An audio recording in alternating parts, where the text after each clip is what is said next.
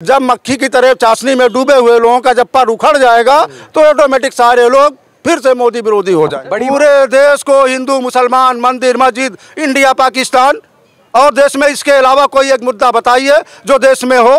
वो mind reading एक formula है जिसको उस लड़की ने खत्म कर दिया। आप धीरेन्द्र शास्त्री पे चर्चा कर रहे हैं चर्चा करके उसे आप बड़ा बना देंगे। स्कूल में हमारे यहाँ तो ये होती है ना शादी कापियाँ भी आप रख करके आओ तब भी एग्जामिनर को बोला गया बेटा तुम इसको जो है पूरे नंबर देना। इसी काम का केजरीवाल जी दो सौ रुपया दे रहे हैं पीडीएस में। और हम लोगों को सत्तर रुपए पे बधुआ मजदूर की तरह काम कराया जा रहा है। बताइए आपके नज़र में सही है कि गलत? वही काम सेम 2014 से अब तक देश के हालात बद से बदतर हो गए हैं। स्वास्थ्य शिक्षा रोज़गार और हिंदू मुसलमान भारत पाकिस्तान इन चार पाँच मुद्दों पे ये सरकार जो निकली थी विश्वगुरु बनने के लिए ये सबके चेले खुद हो गए विश्वगुरु कहीं चला गया।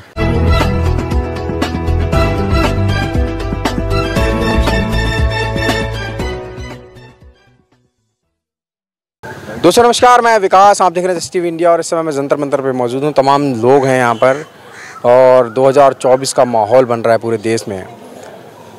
और अलग अलग लोग हैं अलग अलग विचार हैं ऐसे में तमाम लोग हैं उनसे जाने की कोशिश करेंगे। क्या कहेंगे? अ, क्या लग रहा है आपको? बाबा 2024 में क्या लग रहा है? हम किसान आदमी हैं। हाँ। हमारा जो काम करेगा उसी को हम वोट देंगे।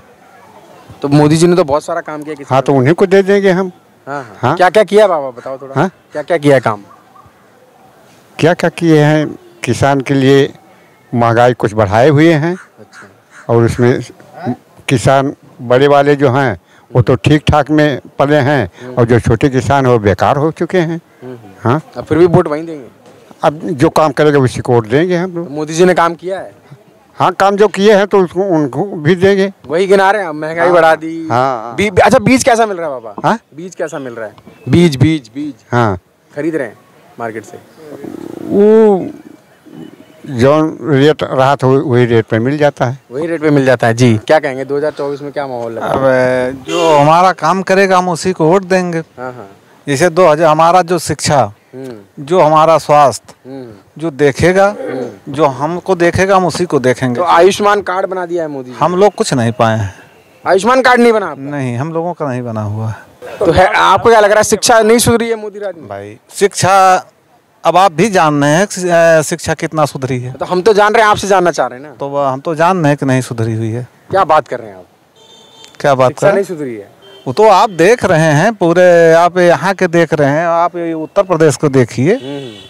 उत्तर प्रदेश में तो योगी बाबा हैं उन्होंने शिक्षा नहीं ठीक भाई तो आओ सब है पूछिए कि हाँ सुधरी है कि नहीं सुधरी जी क्या कहेंगे? जी पहले तो शिक्षा और दवाई दोनों फ्री होना चाहिए पूरे देश में हाँ हाँ। सबसे पहले। और पहली बात है कि हम लोग फेयर प्राइस डीलर हैं तो हम लोगों को तनख्वाह मिलना चाहिए कम से कम तीस हज़ार रुपया। तो इसलिए हम लोग हमारी सरकार सुन नहीं रही है तो हम सरकार के बारे में कुछ खास नहीं बता तो क्या कहेंगे 2024 में क्या माहौल लग रहा है? अब अगर हमारे पक्ष में करेंगे तो हम उनके बारे में सोचेंगे। अगर हमारे बारे में नहीं सोचेंगे तो हम क्यों अरे साल 2014 से अभी तक सोचा ही नहीं आपके पक्ष के बारे में। कहाँ सोचे कब सोचे बताइए?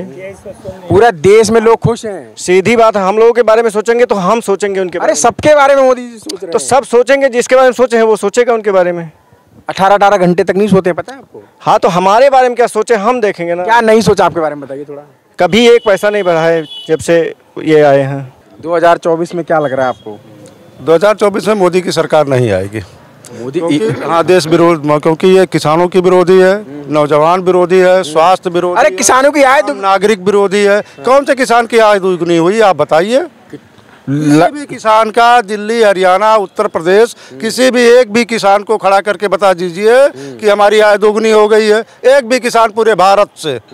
एक भी किसान आ जाए जो कह दे कि हमारी आय दोगुनी हो गई है तो मैं मोदी का भक्त हो जाऊँगा। किसान सम्मान निधि मिल रही है ना किसान सम्मान निधि मिल रही है। कितना महँगा कर दिया डीजल महँगा कर दिया यूरिया महँगा कर दिया पेट्रोल महँगा कर दिया कृषि यंत्र महँगा कर दिया बीज महँगा कर दिया। कोई भी ऐसी चीज़ हो जो बताए मोदी सरकार में जो सस्ती हुई हो एक भी किसी भी। किसान के संबंधित कोई भी यंत्र कोई भी फर्टिलाइजर्स कोई बीज कोई भी बता दें जो सस्ता हुआ हो एक भी। आप पत्रकार हैं तमाम लोगों से आप पूछते हैं किसी एक के बारे में बताइए कि जो सस्ता किया हो मोदी सरकार ने। एक भी पत्रकार हैं पूछ रहे हैं आप। विपक्ष में कोई भी नहीं है मोदी जी के विपक्ष में मोदी भी तो चौदह के पहले विपक्ष में भाजपा भी नहीं थी। कितनी सीट थी भाजपा की? साढ़े तीन सौ सीट पे आ गया। तो जो आज पचास सीट पे है क्या वो साढ़े तीन सौ सीट नहीं आ सकता? बिल्कुल आएगा। अब लेकिन लोग तो ये भी कहते हैं ना हम आखिर वोट किसको देंगे कि कोई है ही नहीं चार? जब तक धर्म की चाशनी में लोग डूबे हुए हैं तब तक मोदी जी बढ़िया है। जिस दिन इस चाशनी से बाहर होंगे मक्खी की तरह के धर्म की चाशनी? उखड़ जाएगा। जब मक्खी की तरह चाशनी में डूबे हुए लोगों का जब पर उखड़ जाएगा तो ऑटोमेटिक सारे लोग फिर से मोदी विरोधी हो जाए बड़ी बात कर रहे हैं सर आप धर्म को लेकर। बिल्कुल हम सही बात कह रहे हैं जो देश में चल रहा है मैं वही कह रहा हूँ। ले, लेकिन ले आज के टाइम धर्म ज़रूरी है सही है धर्म ज़रूरी है लेकिन धर्म के नाम पे जो किया जा रहा है वो ज़रूरी है।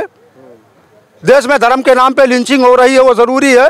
पूरे देश को हिंदू मुसलमान मंदिर मस्जिद इंडिया पाकिस्तान और देश में इसके अलावा कोई एक मुद्दा बताइए जो देश में हो।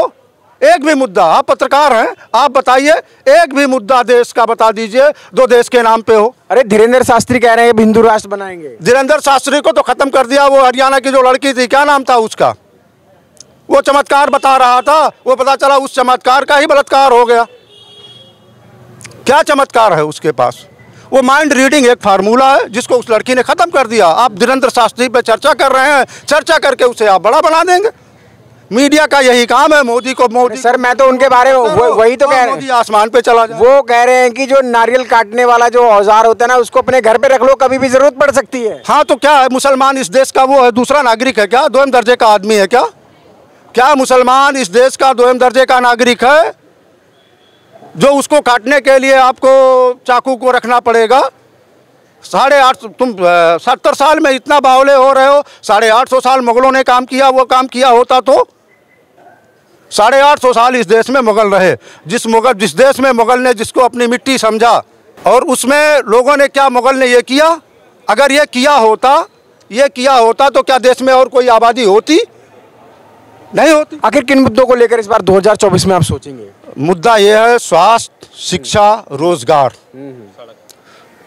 सड़क पानी बिजली। ये मुद्दा होना चाहिए। लेकिन मोदी जी ने तो घर घर बिजली पहुँचा दी है। कहाँ बिजली पहुँचा दिया? लट्टू लगवा दिए हैं। अरे उत्तर प्रदेश में देश की सबसे महँगी बिजली है जो योगी जी दे रहे हैं। पूरे देश की सबसे महँगी बिजली। आप देख लीजिए। पत्रकार है आप जाते होंगे हर स्टेट जाते होंगे। पूरे भारत में सबसे महँगी बिजली उत्तर प्रदेश में योगी जी ने कर दिया। पूरे भारत की। आप रिकॉर्ड देख लीजिए। एनकाउंटर हो रहा है लगातार। इनकाउ इनकाउंटर हो रहा है। उसी को इनकाउंटर कहते हैं जो उनके करीबी आदमी हैं जिनके ऊपर सौ सौ मुकदमे चल रहे हैं। अभी देश की बेटियाँ ही जंतर मंतर पे बैठी हुई थी। आपके यही बगल में ही उसके अध्यक्ष बैठे हुए हैं। हुई कोई कार्रवाई? क्या अच्छा चल रहा? बुलडोजर तो चल रहा है बाबा अब बुलडोजर चल रहा है वो भी धर्म के नाम पे। बुलडोजर भी धर्म के नाम पे ही चल रहा है। अवैध अतिक्रमण जो कर रहे हैं उनके ऊपर। अरे कहाँ अवैध अतिक्रमण है? अवैध अतिक्रमण आप देखेंगे तो खुद उनका जो मठ है वही अवैध हो जाएगा। पता है आपको इंडिया में टॉप नंबर पे आ रहा है उत्तर प्रदेश। कितने सारे कितने सारे लोग इन्वेस्टमेंट कर रहे हैं वहाँ? किस मामले में टॉप क्लास इन्वेस्टमेंट के मामले पे। इन्वेस्टमेंट ग्लोबल एक- ग्लोबल इन्वेस्टमेंट कितने नौजवानों को रोज़गार मिला उत्तर प्रदेश में जो ग्लोबल इन्वेस्टमेंट है? आप बताइए। कितने नौजवानों को? यहाँ बहुत सारे बेरोजगार अभी धरने पे बैठे हुए थे। सारे पीडीएस डीलर आए हुए थे पूरे भारत के। मोदी सरकार मोदी सरकार के एक भी आदमी ने उन पीडीएस डीलरों की, जिनकी कई लाख की तादाद थी, एक भी मोदी सरकार का एक भी आदमी यहाँ झांकने तक नहीं आया कि उन पीडीएस डीलरों की कुछ सुन ले। क्या देश में चल रहा है? एक मनमानी चल रही है। नेशनल मीडिया मोदी जी को आसमान पे बिठाया है, बाकी कुछ नहीं जी कुछ और लोग भी हैं जी कुछ और लोग भी हैं। जी क्या कहेंगे? 2024 में क्या सोचेंगे फिर?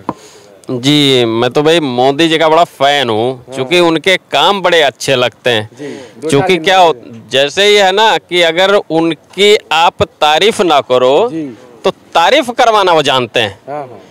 आप अगर उनकी बड़ाई नहीं करोगे ना तो आपका न्यूज़ चैनल भी बंद कर देंगे। इसलिए मैं तो भाई केवल तारीफ़ करता हूँ। समझ रहे हैं?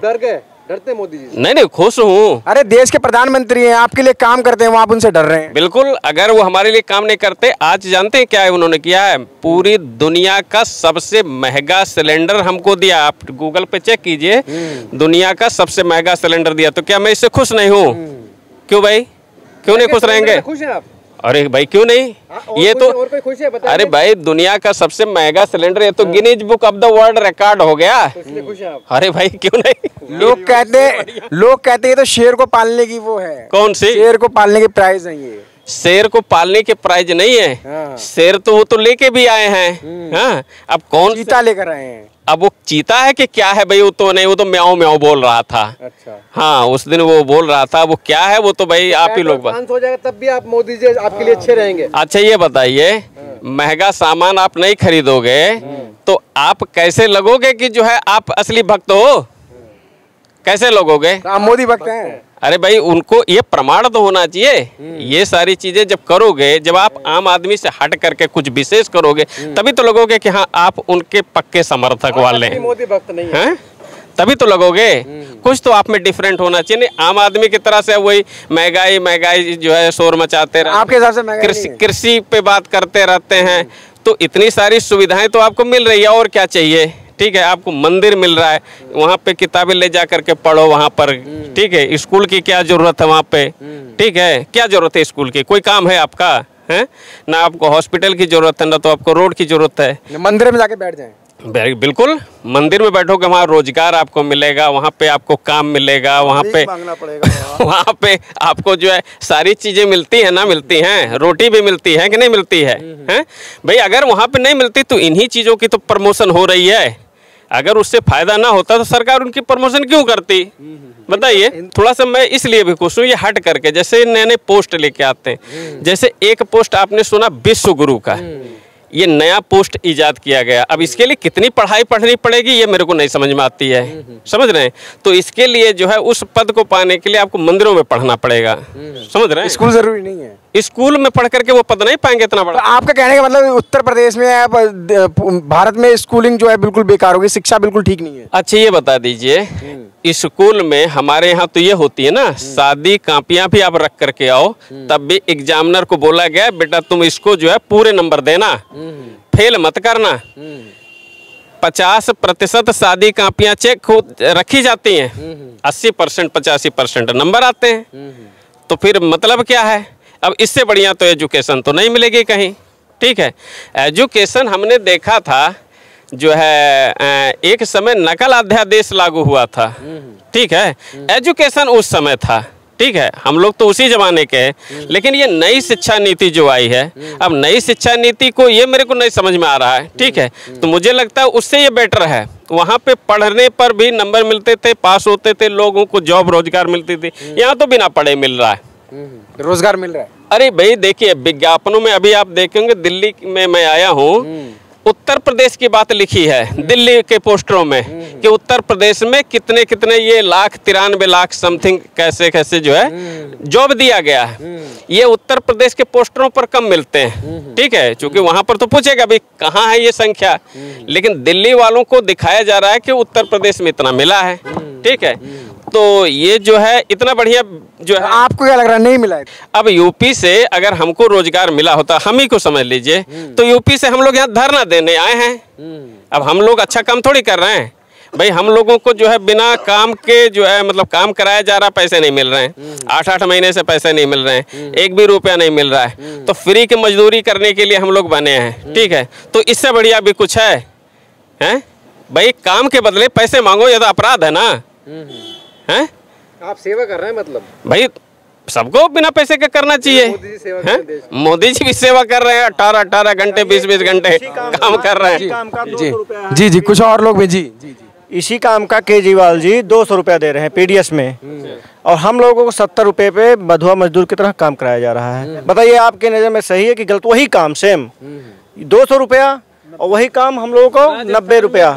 तीस हज़ार सैलरी अप्रैल से मिलने जा रही तो है देखिए ये यहाँ पर तमाम लोग हैं और, और भी कुछ लोग हैं उनसे भी जाने की कोशिश जी एक रियलिटी मैं जानना चाहता हूँ कि क्या 2014 से लेकर अब तक देश के हालात कितने हैं? 2014 से अब तक देश के हालात बद से बदतर हो गए हैं। स्वास्थ्य शिक्षा रोज़गार और हिंदू मुसलमान भारत पाकिस्तान इन चार पाँच मुद्दों पे ये सरकार जो निकली थी विश्वगुरु बनने के लिए ये सबके चेले खुद हो गए विश्वगुरु कहीं चला गया। ये जुमला लेकर के आते हैं और ये जुमला की सरकार है। इनके जुमले लोग लोग अब समझ चुके हैं क्योंकि 10 साल हो गया। अब 10 साल में सारे लोग जा- एकदम जानकारी हो चुकी है सबको कि ये क्या क्या कर कहेंगे और क्या करेंगे। ये कहते कुछ हैं करते कुछ हैं इसलिए जनता ने मन बनाया है कि अगली बार कोई नई सरकार। तो देखिए तमाम लोग थे उत्तर प्रदेश से आए हुए थे और सबसे बड़ी बात कि अपनी परेशानी और प्रॉब्लम को लेकर जब उत्तर प्रदेश में इन लोगों की नहीं सुनी गई तो इन्होंने दिल्ली का दरवाज़ा खटखटाया। क्योंकि केंद्र में और देश की राजधानी दिल्ली है तो यहाँ पर देश के प्रधानमंत्री भी बैठते हैं, तमाम मंत्री बैठते हैं। और उन्हीं से अपनी गुहार लगाने ये लोग दिल्ली जंतर मंतर पर पहुँचे थे। लेकिन क्या आप लोगों की बात सुनी गई हमारी बात सुनने के लिए कोई आया ही नहीं, मोदी जी का कोई भी प्रतिनिधि नहीं आया। बल्कि हमारे प्रोग्राम को दबाने के लिए भाजपा के दो तीन चेले यहाँ मंच लगा करके शराब और सिसोदिया का मामला चला रहे थे। हमारे आदमियों को घुसने नहीं दिया।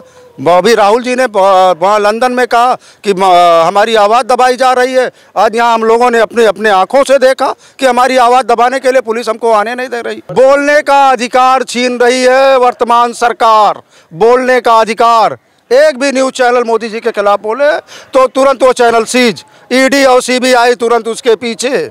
विपक्ष को भी बोलने नहीं दिया विपक्ष तो खत्म है विपक्ष को तमाम लोग सीबीआई और ईडी की जाँच में है तमाम लोग जेल में है साठ तो कांग्रेस साठ साल इसी देश में थी।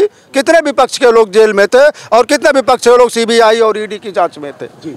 तो देखिए ये तमाम लोग थे उत्तर प्रदेश से और लगा अपनी प्रॉब्लम को लेकर जंतर मंत्र पे आए थे। हालाँकि इन्होंने काफ़ी गंभीर आरोप लगाए कि सरकार के प्रतिनिधि इन इनसे नहीं मिले हैं। जो मेमोरेंडम ये लेकर आए होंगे या ज्ञापन लेकर आए होंगे, वो भी नहीं लिया गया और दूसरा इनके प्रोग्राम को ख़राब करने की कोशिश की गई। लेकिन हमारा मुद्दा था कि 2024 में आखिर क्या होगा तो आपने तमाम लोगों की बातें सुनी हैं 2024 में क्या होगा। आप लोग क्या सोचते हैं 2024 को लेकर, अपनी राय कमेंट में ज़रूर करें।